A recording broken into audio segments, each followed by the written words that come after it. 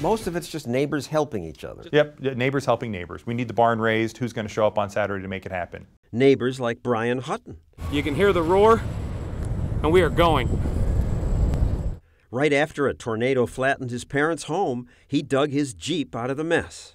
He knows that there people need help, so he goes and drives around and starts using his winch to rescue people. Nobody told Brian to do it. He just got out of the wreck he was in and started helping the guy next door. And at the end of it, his Jeep was pretty trashed.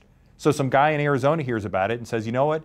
I'll fix your Jeep up for you. Spontaneous. Spontaneous. It's way better. There's no bureaucrat who's got the, the, the, the, board and saying, no, no, you can't do that. We have rules and regulations you've got to follow. It's somebody just saying, hey, where can I help? And it's Brian jumping into his truck and getting that winch and getting stuff off so that we can get people out of the rubble. No one organizes it? Nobody does.